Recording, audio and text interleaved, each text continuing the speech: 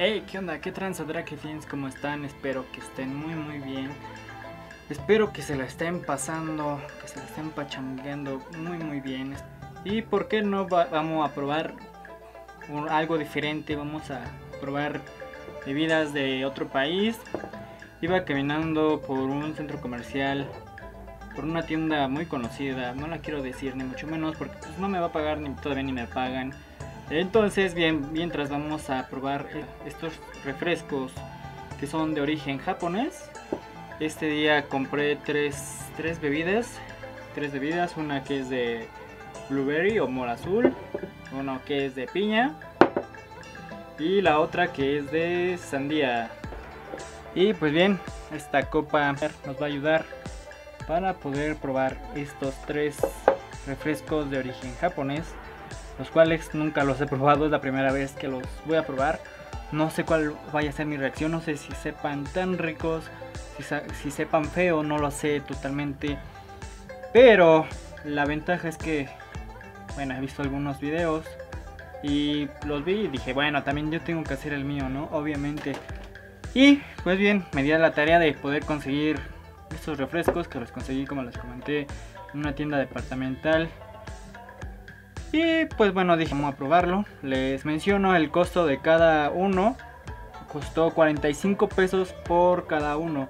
Entonces, imagínense, ustedes pagarían 45 pesos, que estamos hablando de, 2.5 dólares por una bebida de estas, por un refresco. Y ahorita los metí al congelador también un ratito para ver qué tan bueno sabe frío. La verdad, nunca, nunca, nunca de los nunca los he probado. Y bueno, me di la tarea de conseguirlos. No pude comprar todos, me hubiese gustado probar todos, pero sí prometo hacer otro video con los otros tres diferentes sabores que hay. Hay más sabores, pero pues bueno, sí están un poco alterados de precio.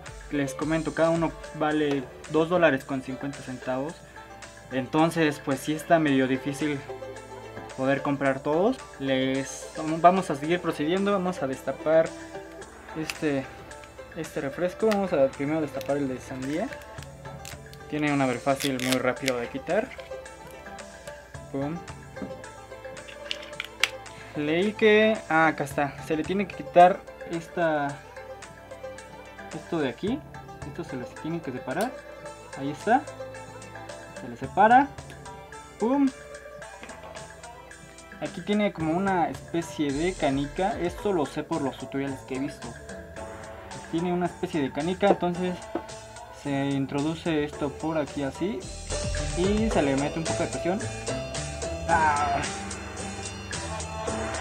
no puedo a ver vamos a intentarlo aquí así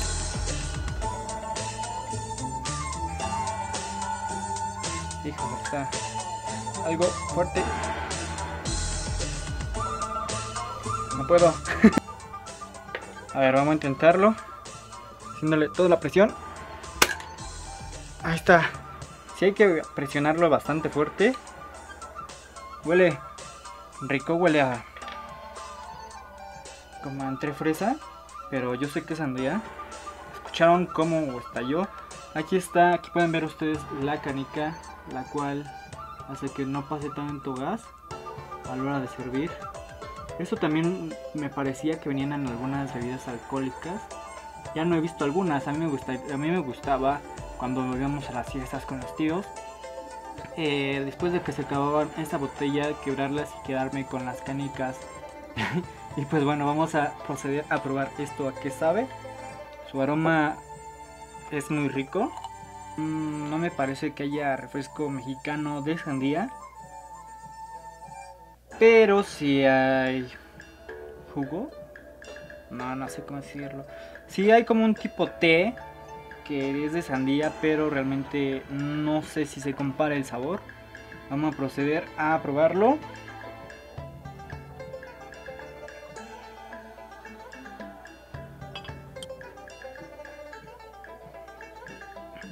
Mm. Si está como saladón, pues sí es sandía de sal, pero sabe como a el refresco amellar mexicano, un poco así el sabor al de fresa kiwi, así le da un poco el sabor.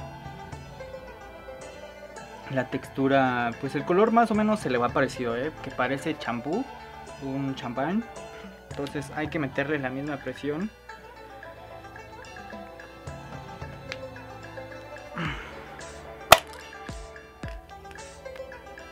Ahí está. Explota bastante masivo, ¿eh? pero sí hay que meter presión a la hora de, de introducir este objeto. Vamos a proceder a probar el de mora azul. Tampoco lo he probado. Mm, creo que refresco mexicano de mora azul no hay. Bueno, yo no he probado alguno de mora azul. Vamos a ver a qué, a qué sabe.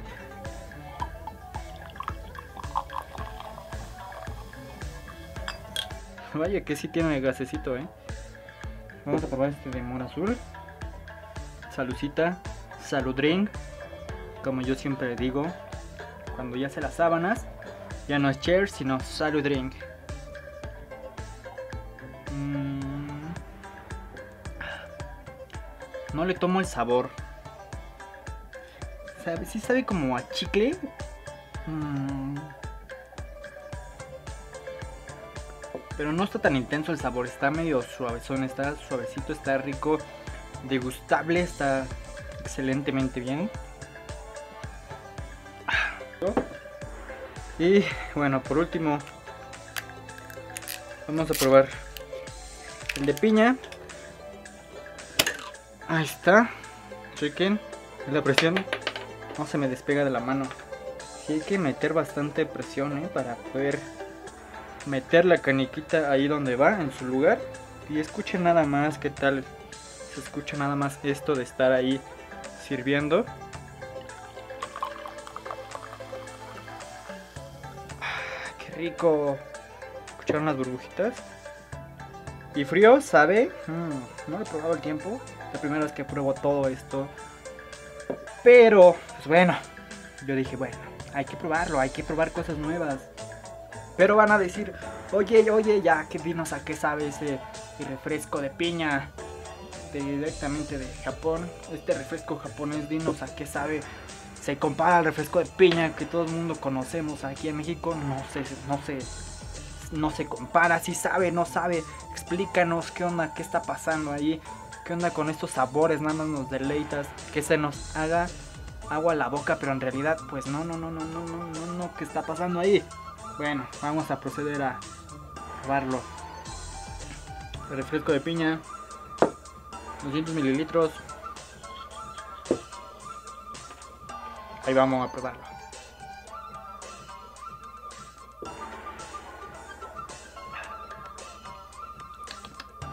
Sabe como a té. No está tan gasificado que luego, que lo, como los refrescos mexicanos que luego, luego le das el sorbo y em, empieza a burbujear toda la boca y a brincar por todos lados. Esas burbujas, no, esto está agradable. Sí tienen un ligero sabor, pero tampoco están tan gasificados, no, le quita el, desprecio de los refrescos mexicanos, pero sabe rico, sabe, sabe muy muy rico. Los metí de hecho al congelador para que estuvieran más fríos. Y sí, vale la pena meterlos al congelador. Pero bueno, la pregunta que me acabo de hacer. Bueno, y si no me lo termino, ¿esta cosa le queda como tapa? No, no le queda como tapa. Realmente te lo tienes que acabar en un 2x3. Porque si no, no tiene tapa. Esa es la única desventaja que le veo a este refresco. Que bueno, no tiene tapa, pero son, bueno, son 200 mililitros. Casi a lo equivalente de un Fruitsy, de un Pau Pau que aquí como mexicanos pues sabemos que son esas bebidas, que solo hasta se los pusimos a las llantas para que a las llantas de las bicis para que se escucharan como toda una moto y escucharan Y pues bueno, no, no, la, no tiene tapa esta cosa. Me hubiese gustado que tuviera tapa, pero no la hay, no la tiene. Me gustó este, bueno, me gustaron los tres, me gustaron los tres. Les voy a dejar en las descripciones la marca de estas gaseosas japonesas. Si ustedes no las han probado, están, están muy muy deliciosas, están muy ricas. Y la verdad pues me encantaron a mí. Me fascinaron, de verdad me fascinaron. Y pues bueno, es hora de culminar este video. el tiempo se nos va, el tiempo se nos agotó, se nos fue más rápido que Flash, pero pues bueno, así es esto. Entonces, si te gustó el video no olvides suscribirte, picarle a la campanita de notificaciones para que te avise YouTube, para que diga, ah, YouTube. Draquito Lux acaba de subir un video nuevo. Entonces, ya te las sábanas, suscríbete y dale a la campanita para que te notifique. ¿Va que va? Nos estamos viendo. Bye.